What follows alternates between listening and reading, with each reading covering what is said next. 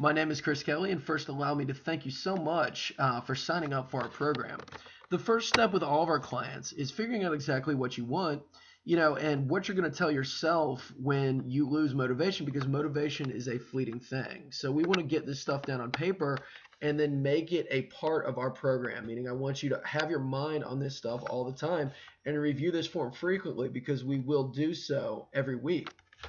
And so, first and foremost, with our goal setting form, what we want to figure out, step one, is just figuring out a basic goal. Okay, and so I'm, I've used an example here of things that I hear a lot. Okay, and a long term goal doesn't have to be something like I want to lose 35 pounds or I want to run a marathon. I mean, I hear that a lot, and certainly you could say those things. But for a mom that I worked with recently, she simply said, "My long-term goal is to be healthy for my eight-year-old." You know, and, and he's a he plays baseball. You know, he's a pretty active kid, and she wants to be able to keep up with him. And I think that that's a wonderful goal, and it's something that you know you can wrap your head around. And regardless of what you choose, I want you to think of something that even stirs emotion, because the more powerful your goal, the more likely you are to stick to that goal. And for her, that's a very, um, very powerful and uh, meaningful thing.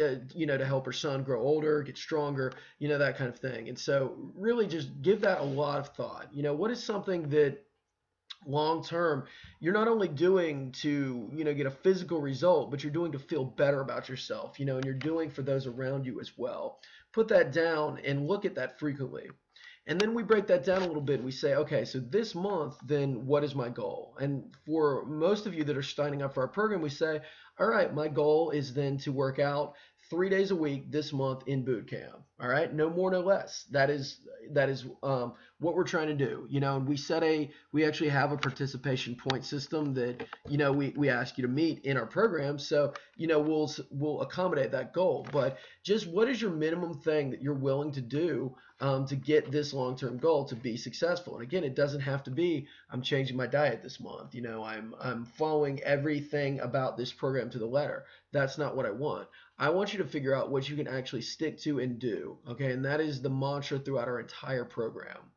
So then from there, step two is to choose a mantra and to choose a workout buddy.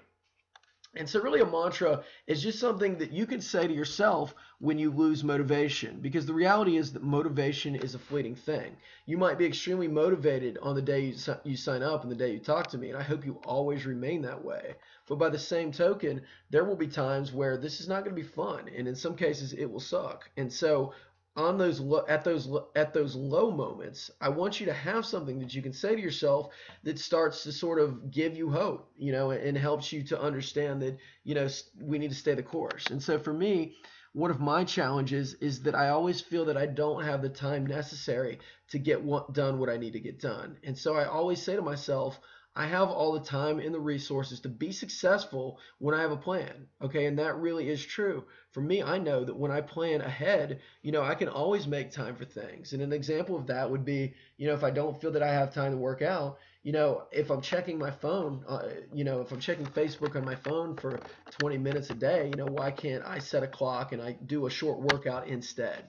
So really the the mantra is kind of looking at the reasons why you haven't been successful in the past you know the things that you dis that disconnect you and then saying the opposite okay? Because the reality is you signed up for this program you do have all the strength necessary to get to where you want to be but really have something that you can say to yourself frequently almost on a daily basis that helps you to remember that okay and reminds you you know, the last thing is a workout buddy, somebody that you can say these things to, and somebody that can hold you accountable, you know, in addition to your coach. Okay. And so that workout buddy can certainly be me. But again, what I would advise is somebody that you might have signed up for the program with, you know, somebody that you work with, and that kind of thing. So, you know, write their name down because you are going to be held accountable to some degree with your workout buddy, okay? And so I want that person to be your go to, somebody that you can talk to about your workout, somebody that you can complain to about me. All of that is fair game. But again, I want to know somebody that you can um, talk to about what you're doing because it's extremely important. And our final step, our step three, is to choose one habit. Okay, and the difference between a habit and a goal is a goal is what we're trying to do overall, whereas a habit is kind of looking at the reasons why you haven't been successful in the past and just doing one little thing um, to try to eliminate those disconnects. Okay, and so for a lot of people, for example, um, you know, time is a problem. You know, people always tell me I don't have time to work out. You know, um, I I don't have you know an hour in my day to work out. And so my challenge for a lot of people in the very beginning is to do 10 minutes per day. Okay, and that is why I have highlighted this here.